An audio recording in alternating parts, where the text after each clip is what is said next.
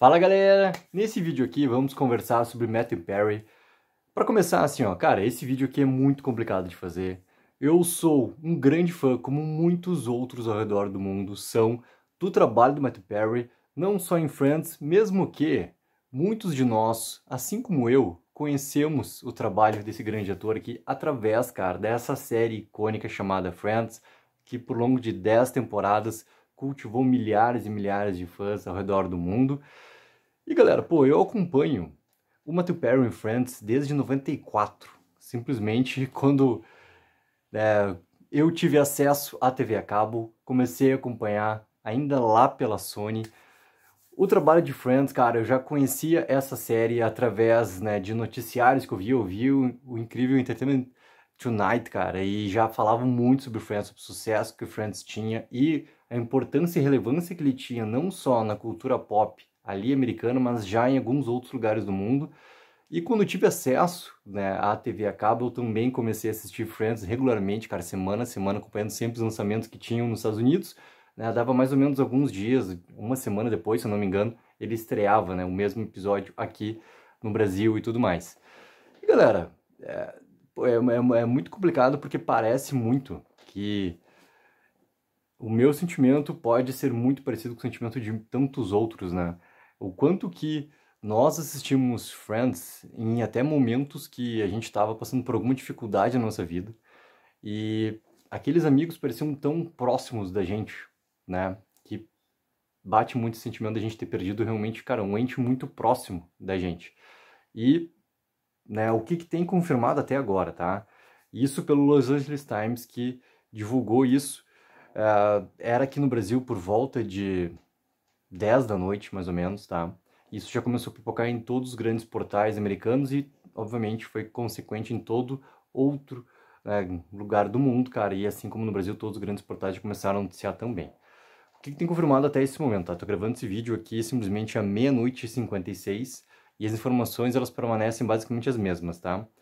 As autoridades policiais encontraram tá, o Matthew Perry por volta das 4 horas da tarde, horário lá de Los Angeles, na sua casa, não havia sinais de crime ou drogas no local, tá? E ele estava inconsciente já nesse momento que ele estava dentro da sua banheira, tá?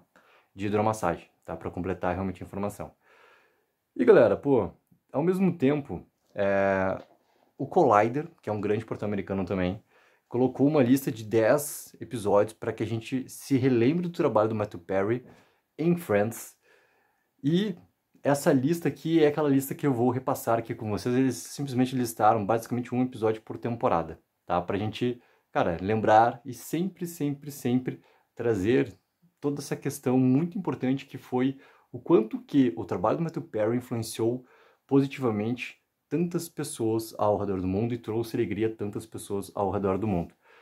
O primeiro episódio, galera, que eles trazem é aquele com o apagão da primeira temporada, onde o Chandler fica preso é, lá no 24 Horas com a Jill Godred. É, é, um episódio, cara, realmente assim, muito, muito, muito engraçado, que é o grande apagão que existe ali acontecendo em Nova York. Na temporada 2, eles separam aquele em que Reckless morre, que é aquele episódio onde né, o vizinho, que sempre ficava perturbando né, os nossos amigos ali e tudo mais, e que o Chandler se vê muito parecido com ele na questão do ranzinza e tudo mais, né? Terceiro episódio, cara, né, terceira temporada, aquele que Chandler não consegue se lembrar de qual irmã. Qual irmã? Qual irmã do Joey que ele acabou se envolvendo. Da temporada 4 é aquele com os embriões, que é o famoso episódio onde a Phoebe vai fazer a inseminação artificial e tem toda a batalha né, do jogo de perguntas e respostas em que tá valendo né, o apartamento ali da Mônica, que o Joey Chandler acabou ganhando. Da quinta temporada, aquele em que todo mundo descobre, que é o episódio onde a Phoebe, né, inclui com a Rachel, vai lá para tentar de alguma maneira seduzir o Chandler até o momento que o Chandler fala que realmente né, ele ama a Mônica e é o momento onde todos os vizinhos né, conhecem, todos os amigos conhecem o que está acontecendo no relacionamento entre Chandler e Mônica e tudo mais, menos o Ross. E o Ross acaba sabendo, né, no momento final do episódio lá, onde ele vê o Chandler e a Mônica através lá da janela do outro apartamento que ele está alugando também. Dessa temporada, eles colocam aquele em que Chandler não consegue chorar, que também é um episódio que marcou bastante, né, E tem até aqui, ó, uma das melhores falas que aparece do Chandler nesse episódio. Bem, isso me faz sentir todo quente dentro do meu peito frio de lata, né? Que é simplesmente aquele momento onde se bate que o Chandler ele não consegue ter essa emoção, né? Que ele não consegue chorar.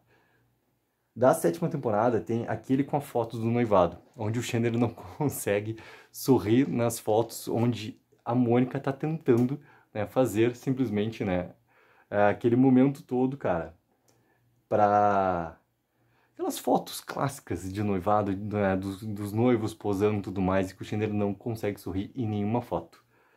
Da oitava temporada, aquele Confesso de Halloween, que até o episódio que tem a participação do Champagne e tudo mais, onde o Chandler tem toda a batalha. Ele tá vestido como o Coelho Rosa contra o Ross também.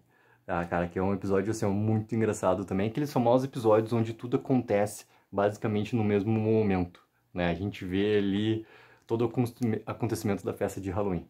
Da nova temporada, aquele com a música inadequada de Ross, que simplesmente né, é o episódio onde o Ross, né, com a Rachel, tem o Baby Got Back, tá? que é quando eles dançam simplesmente para fazer né, a Emma dormir e tudo mais. E da décima temporada, aquele em que a Estelle morre, tá? Que é já o momento ali onde o Chandler acaba tendo, acho que, seu último encontro com a Janice, tá? E também é um episódio importante porque tem também, ao mesmo tempo, né, é, o Chandler e a Mônica procurando né, a casa que depois eles vão morar quando eles saem lá do apartamento da Mônica e tudo mais. Então, galera, esse aqui foi um momento também para a gente poder celebrar, pegando por base essa lista do Collider aqui, 10 episódios para a gente sempre né, manter o trabalho, cara, o legado vivo do Matthew Perry, pegando exclusivamente o trabalho todo icônico que ele desenvolveu em Friends, que, repetindo, cara, alegrou tantas e tantas, tantas pessoas. E eu separei aqui uma nota que a Variety também colocou do livro, tá, que o, o Matthew Perry escreveu. É Deixa eu pegar aqui, ó, certinho, que ele lançou em 2022, tá? Que o título do, do, do livro é simplesmente, ó, Friends, Lovers and the Big Terrible Thing, a Memory.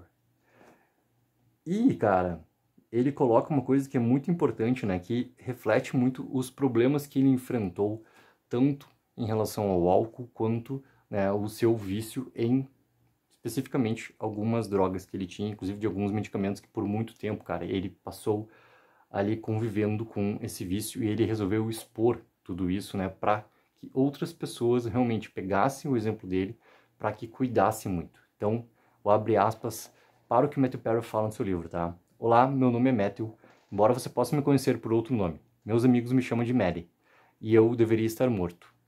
Não escrevo nada disso para que alguém sinta pena de mim.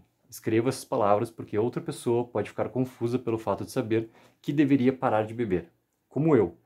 Eles têm todas as informações e entendem as consequências, mas eles ainda não conseguem parar de beber. Vocês não estão sozinhos, meus irmãos. Galera, é, é muito, muito difícil, cara. Porque essa sensação toda, assim como eu falei no início do vídeo, cara, é, é, é, é bizarro, assim, porque a gente conviveu tanto tempo e foi tantas memórias boas pelo trabalho que o Matthew Perry desempenhou, não só em Friends, mas não tem como a gente não fugir do Chandler Bing, não tem como a gente fugir dos 10 anos, as 10 temporadas que, cara, aquele grupo tão especial de pessoas formou para que a gente tivesse né, uma série tão importante na vida de tantas, tantas pessoas. A gente vê, cara, aquela repercussão toda que o especial da HBO, né, HBO Max lançou, é, que a gente vê não só a questão de celebridades, mas pessoas ao redor do mundo falando e sabendo exatamente detalhes de lembrança, de fala tal, tudo mais, o quanto que foi importante e continua sendo e vai continuar sempre sendo na vida de tantas e tantas pessoas. Galera, coloquem embaixo nos comentários qual a principal lembrança que vocês sempre vão ter do trabalho do Matthew Perry. E não esqueçam sempre, galera, pô, de dar aquela ajuda que é mega importante, de curtir o vídeo e assinar o canal. Take 04, viva o sonho aqui.